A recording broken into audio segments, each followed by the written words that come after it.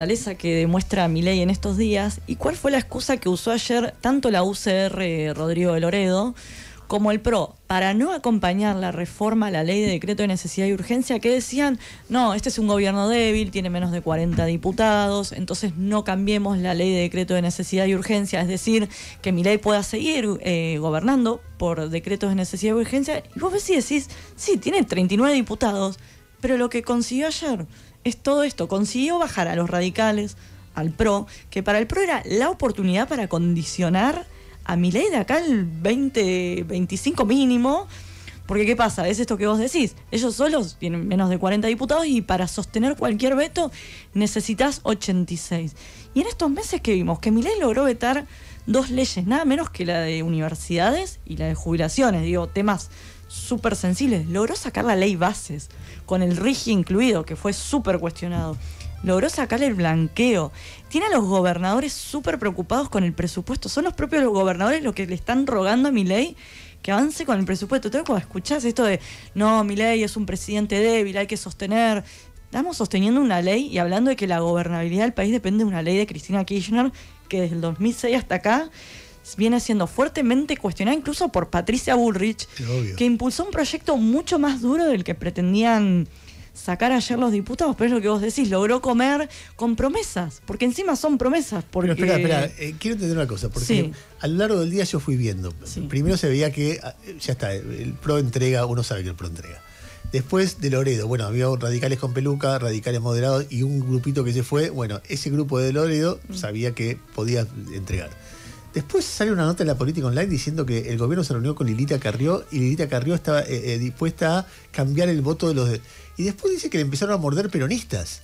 Eh, bueno, salieron los peronistas con peluca ayer, que para mí fue la gran novedad. Lo de la reunión con Lilita, la verdad es que lo, lo traté de chequear y altas fuentes lilitas, lilitos, me dijeron que no, que eso no sucedió. De hecho, ellos estaban ahí, digo, en la sesión todo.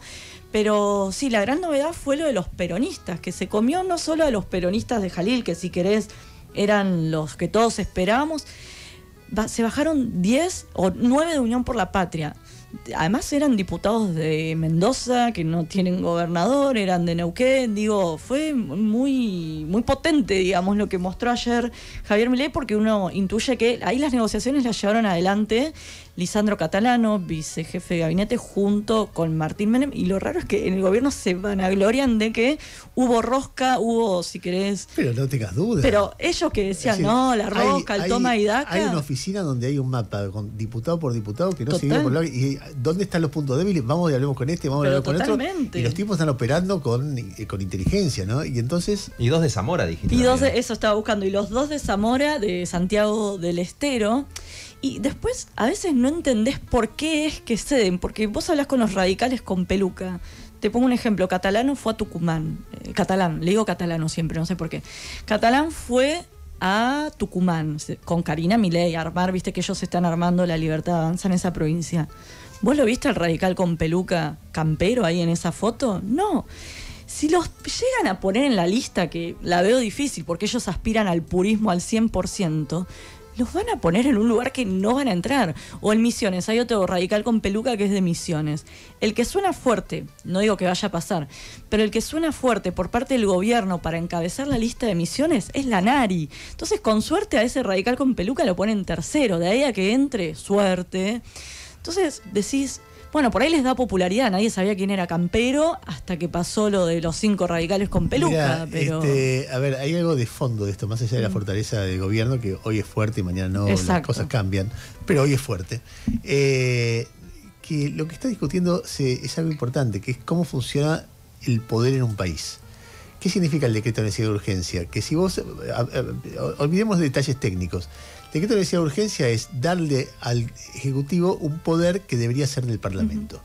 Entonces, la forma en que está regulado eso actualmente es que tiene el Poder Ejecutivo mucho poder. Puede pasar por encima del Parlamento casi, casi en todos los aspectos. Eh, cuando Cristina era opositora a Menem, quiso regularlo, regularlo de verdad.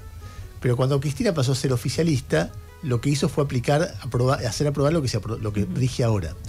Cuando Patricia Burris era opositora, quería regularlo, regularlo de verdad. Ahora lo que quiere es que esto siga así porque ella es la que gobierna. De esta manera, unos y otros van avalando que el Congreso tiene facultades muy chiquitas. O sea que mañana gana, ponele Guillermo Moreno o Grabois, y va a decir de urgencia y a cantarle a Gardel, porque es lo que este le decía. régimen. El día de mañana gobierna Juan Graboy, te hace la reforma agraria por DNU y a quién le vas a ir a reclamar? Y a cantarle a Gardel. Entonces vos tenés ahí una situación donde estás legitimando mandato tras mandato, unos y otros, porque se supone que el PRO, a ver, el kirchnerismo nunca pecó de republicano. El kirchnerismo, nosotros queremos todo el poder y me rompo. ¿Qué quiere decir PRO?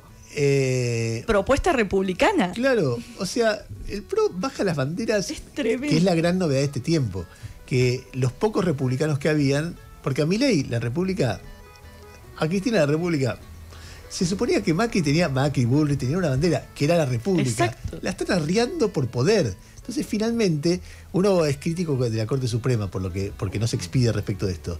Pero flaco, dejate de hinchar las pelotas. Eh, bueno, eh, ¿Algo más, eh, Débora? No, que ayer hablaba con los Lilitos y me decía esto que vos me decís. Estamos naturalizando algo que es inconstitucional por esto, por dependiendo de quién tiene el poder. Y al final del día, evidentemente no les molestaba la herramienta del DNU, sino quién la usa esa herramienta. Totalmente, como tantas otras cosas. Eh, como no, le, no les molestaba, eh, no es que querían la libertad de prensa, sino lo que querían era la libertad de prensa contra el que está en el poder. Ahora que yo estoy en el poder, ya no me gusta. yo estoy esperando que me que vayan a, que den marcha atrás con el decreto que regula la ley de acceso a la información pública. Eh, 8.42 minutos de la mañana. Eh, cerramos antes de darle pie a Yami diciendo que yo por lo menos banco a los mandriles. Es decir, estamos de acuerdo con los mandriles, nos quede como nos quede la parte trasera.